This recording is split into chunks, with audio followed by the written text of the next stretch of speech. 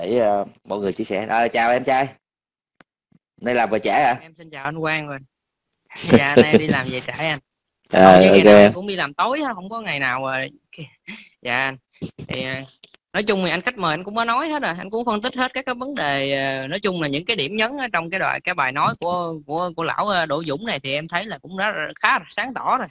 Ừ. à, và em cũng cùng chung nhận định với tất cả các anh chị đó là khi mà nghe cái bài của Đỗ Dũng á, thì chúng ừ. ta sẽ thấy rằng uh, cái cái hệ thống lãnh đạo của chúng ta là một bầu trời uh, kỳ quặc huyễn hoặc ừ. chúng ta không nhìn vô chúng ta không hiểu nó nó là cơ cấu nó từ trên xuống dưới là nó như thế nào nó vận ừ. hành như thế nào người đầu người đứng đầu là ai và chức trách là cái gì người thứ hai làm nhiệm vụ gì người thứ ba làm nhiệm vụ gì chúng ta hầu như có những bức tranh mơ hồ mơ hồ xem những thứ mơ hồ thứ hai là sẽ dễ gây hiểu lầm rằng đó là nội bộ đảng là giống như là cái cái cái chỗ để phân chia lợi ích bởi vì ừ. trong tất cả những câu chữ của của lão Đỗ Dũng này là hầu như là em thấy là đều là giống như cái kiểu là một người mà đứng vào một cái vị trí nào đó, đó phải nhờ cái sự hợp tác hay là cái sự móc nối với những người khác đúng em em em cảm nhận như vậy hắn nói như vậy cứ nghĩ là muốn đứng chân vào trong đảng những cái vị trí cao là đều phải phải phải phải phải có sự móc nối phải có sự uh, trao đổi lợi ích và cái ừ. cái thứ ba thì em muốn nói là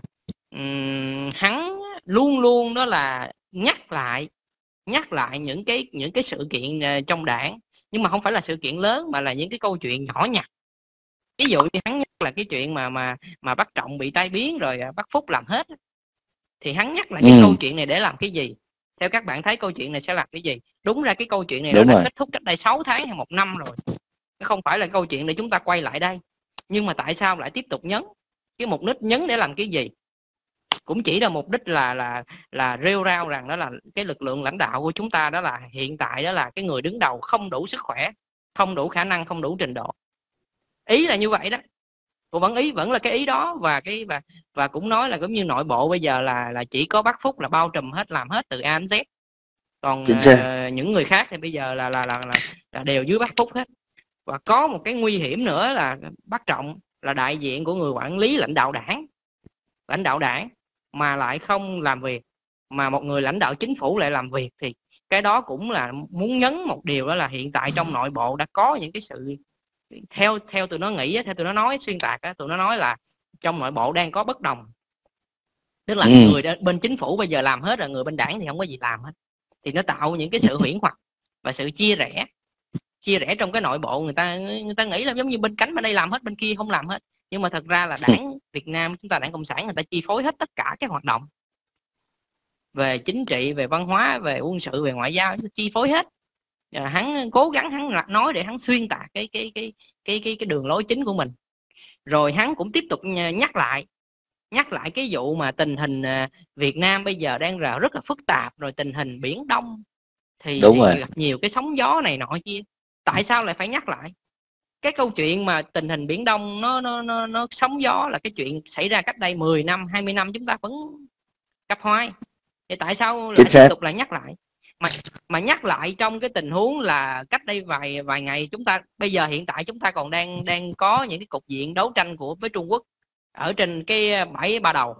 Vậy thì một đích lại tiếp tục là hướng người dân kéo người dân vào những cái câu chuyện uh, tranh chấp với lãnh lãnh thổ với Trung Quốc mà gây sự chú ý đúng không? cũng biết rồi là, là dạ đường lối lãnh đạo của chúng ta là chúng ta chỉ xử lý những cái tình những cái tranh chấp lãnh thổ về mặt pháp lý ngoại giao chứ chúng ta không có dùng vũ lực.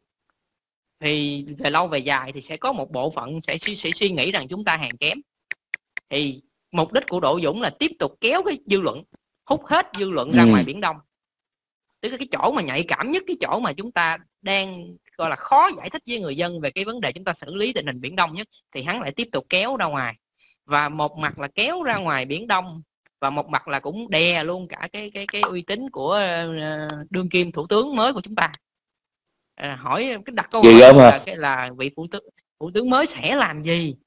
Trong tương lai sẽ có những cái biện pháp gì giải giải pháp gì để có thể giữ vững uh, biển đảo này nọ nhưng mà nói theo cái kiểu giống như là bác thủ tướng phải phải phải phải phải phải gọi luồn lách này nọ đó. Thì cái Chính đó xác. cũng là một cái cái cách nói để mà gọi là chà đạp lên cái cái cái cái uy tín cũng như là cái khả năng của của vị thủ tướng mới mặc dù là vị thủ tướng mới chưa có thực hiện gọi là chưa có đưa ra cái đường hướng quyết sách nào. Và cũng coi như chưa bắt tay vào việc. hắn, hắn, hắn, ừ.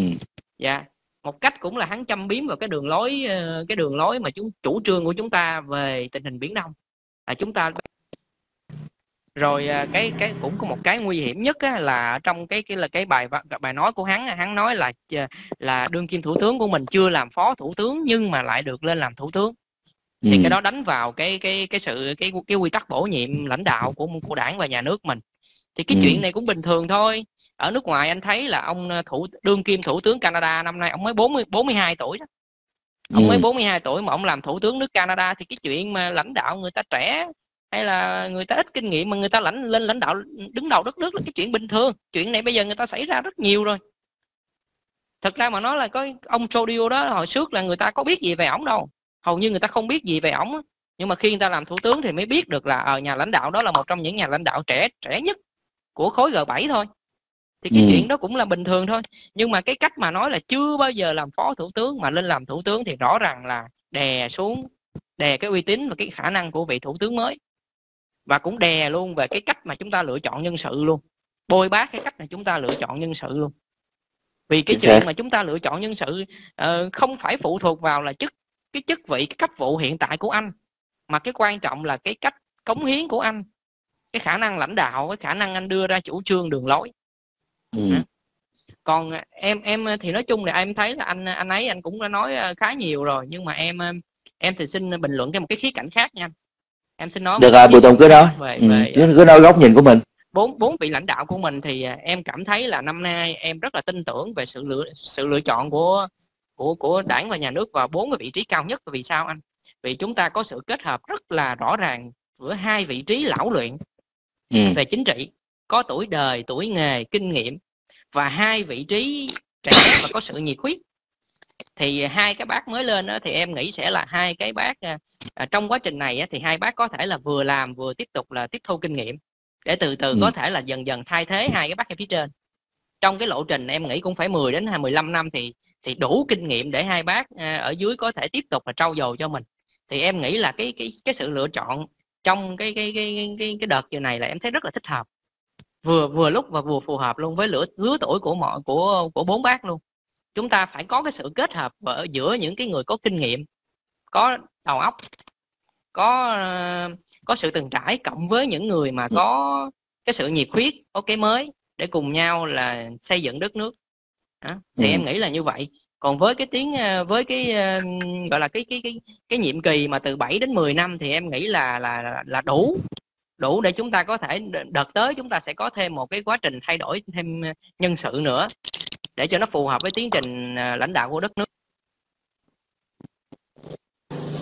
Và đi như vậy là em thấy là là hợp lý. Nó phù hợp em nghĩ là nó phù hợp với với, với sự phát triển định hướng của đất nước. Còn à, cái có có cái vụ mà nói về ổng nói về cái vụ về mạng xã hội anh ừ. cái chỗ này thì thì thật ra mà nói là cái cái mạng xã hội này thì cái tụi ba que thật sự là tụi nó rất cay cú.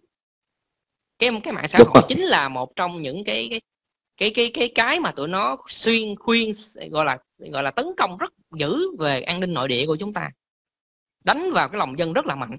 Thì tụi nó luôn luôn là nhắc về cái vấn đề là luật an ninh mạng. Tụi nó cây cú rất nhiều về cái luật an ninh mạng này. Thì bây giờ là tụi nó sẽ sẽ sẽ sẽ sẽ sẽ đẩy ra là bác bác Minh Chính sẽ làm như thế nào?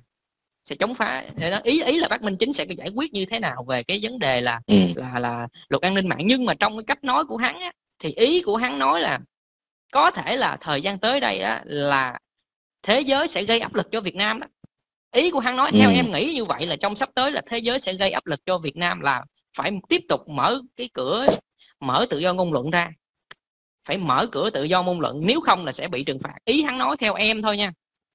Chứ không phải là là là là, là gì hết. Em nghĩ là trong câu nói của hắn có theo một cách nào đó là cái kiểu như dằn mặt đó đúng không?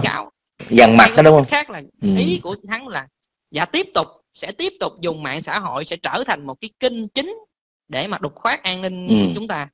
Nên cái này thì mình cũng nên ừ. nên nên khẩn trương. Rồi trong cái bài nói của hắn thì anh cũng thấy là trong suốt cái bài nói của hắn hắn hắn tập trung hắn nói về thủ tướng mới của chúng ta nhưng mà về lãnh đạo đảng bác trọng á, nhắc rất là ít. Đúng rồi. Anh thấy ở trong Chính cái bài nói bác trọng nhắc rất là ít. Thì điều đó cũng Đúng. hắn cũng đang muốn muốn muốn buộc là là là là là cái kiểu của hắn đang muốn là là là cái người dân phải nghĩ là phải để cho chính phủ giải quyết tình hình đất nước.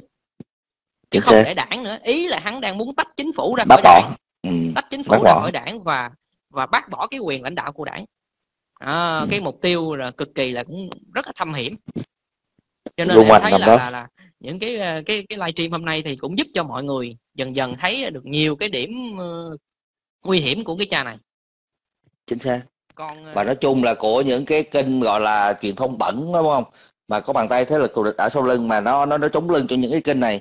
À, anh xin hỏi bùi tùng cái này cái à, về cái vấn đề góc nhìn riêng của bùi tùng nãy á thì à, theo một cách theo một cái góc nhìn nào đó à, như thế này có đúng mà? Tức là à, các vị lãnh đạo đã có một cái tầm nhìn rất là sáng suốt là tức là chọn người chọn người để kế thừa và bước vào cái cái ờ, vào những vị trí đó để luôn bảo đảm cái tính kế thừa nó được xuyên suốt trong cái vai trò ờ, lãnh đạo của đảng cộng sản của, chúng ta để đưa đất nước nó đi theo cái lộ trình đã định đã định sẵn nó không có bị gọi là tức là mình phải đảm bảo như vậy. Để sau này có nếu có gặp gặp gền hay sóng gió gì đó thì các vị đó vẫn xuyên suốt vẫn cái kiên định theo cái đường lối đó để đưa cái con tàu Việt Nam đi ra biển lớn không? Dạ, đúng, đúng rồi không? thì em cũng nhân vào đây thì em cũng cũng nói một cái khía cạnh khác như thế này. Việt Nam hay bất Ừ. cứ một quốc gia nào khác người ta đều có một cái hội đồng hội đồng quốc gia nhưng mà Việt Nam chúng ta Ừ. thì nói chung là đảng sẽ người ta sẽ quyết hết cho nên cái hội đồng nó không có. Nhưng mà ở những nước như nước Đúng rồi. Nga chẳng hạn á, là nó sẽ có một cái hội đồng hội hội đồng riêng.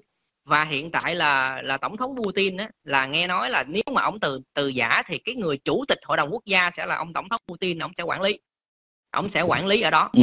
Thì điều đó chứng tỏ là gì? Bất cứ Ừ. một quốc gia nào cũng vậy họ cũng có những người những nhà chính trị gạo cội có kinh nghiệm có tài năng. Thì những người đó sẽ là nếu như sau này họ không tham gia trực tiếp về về quản lý chính quyền thì họ sẽ đứng làm sau đứng đằng sau với nhiệm vụ là bổ trợ tư vấn bổ trợ tư vấn Ừ. cho nhà chính trị ờ, thực ờ, bên ờ, bên ngoài này. Để hỗ trợ cho nhà chính trị bên ngoài này người ta làm thực hiện cái chính sách cho nó phù hợp hơn. Thì điều đó em nghĩ là là là chính chắn. Thật ra mà nói là cái cơ chế thôi anh. Cái, cái cơ chế Đúng. của đảng mình nó khác. Còn nước tư bản thì nó có hội đồng quốc gia. Mình thì có sẽ có là là là những cái bác đứng đầu đó những cái người đó sẽ sau này sẽ trở thành cái cái hội tư vấn thêm tư vấn giúp đỡ góp ý. Đó thì cái điều đó sẽ tốt. Và em nghĩ là cái cái vận trình 10 năm nữa với các bác trẻ là là em thấy là phù hợp. Vì 10 năm nữa là thời gian quá đủ để chúng ta tiếp tục là trau dồi và là ừ. và cống hiến rồi ờ, nói chung là trong cái quá trình đó chúng ta sẽ rèn luyện thêm bản thân để tiếp tục đó là à, chờ trong cái tương lai chúng ta sẽ thay thế. Em thích ở chỗ là các nhà lãnh đạo của Việt Nam chúng ta em thấy là khi mà nhậm chức á, đều ở cái tuổi gọi là trung niên trở lên là em rất em rất mừng. Đối với quan điểm Ừ. của em là em rất mừng bởi vì sao không anh? Bởi vì ở cái lứa tuổi trung niên là người ta đủ chín đúng không? đủ sự Ừ. kiên nhẫn đủ chín chắn đủ kiên nhẫn và người ta biết là tiến lùi gọi là gọi là gọi là tiến lùi biết cái nào cần làm và cái nào không cần làm. Thì ở độ tuổi đó là rất phù hợp. Chứ anh anh thấy là là, là, là, là một số nước á, một chính trị chính trị gia khác một số nước khác em em phải là chê người ta nhưng mà em thấy là là là rất là không biết tiến không biết lùi. Ví dụ như ông Duterte đó ở Ừ. Philippines đó, ông đó cũng là một ông cũng khá trẻ đó. Cũng em Đúng nghĩ rồi. là cũng độ tuổi cũng khá trẻ đó nhưng mà rất ngông nghênh. Đi họp quốc hội mà đem cả cái súng vào trong trong nghị trường nữa rồi to tiếng quát nạt hết người này người kia. Thì ta thấy đó, rõ ràng là là là là những người trẻ làm chính trị thì em theo em nghĩ thôi là tốt nhất là nên tích lũy kinh nghiệm tích lũy thêm kinh nghiệm để chờ cái cơ hội để cho khi mà chúng ta cái, cái lứa của các bác lớn nó, nó chững rồi sức khỏe của các bác lớn nó, nó đã khó khăn rồi thì chúng ta sẽ có cái lực lượng kế thừa. Mà anh cũng biết rồi để kế thừa được một cái một cái vai trò vị trí trong một cái chính đảng nó nó đòi hỏi rất là khó khăn và rất nhiều thời gian. Cả trăm người chúng ta mới lựa được một người. Do đó là cái cái chuyện mà chúng ta mà chọn người lựa chọn người á cần phải có sự công phu từng năm từng tháng dày dạn trau dồi rồi thử Đúng rồi. thách từng người từng người thì mới có được cái cái cái cái cái cái cái cái, cái người chuẩn mức mà cái nhân tố ừ. dạ dạ. Dạ thôi em xin phép xuống để à, các anh chị khác à, cho ý kiến à, cảm ơn bùi tùng nhiều nha. Chứ hôm nay chia sẻ rất là là, là là là sâu rất là sâu sắc. Cảm ơn em trai. Ok cảm ơn em. Dạ em cảm ơn anh Hoàng. Dạ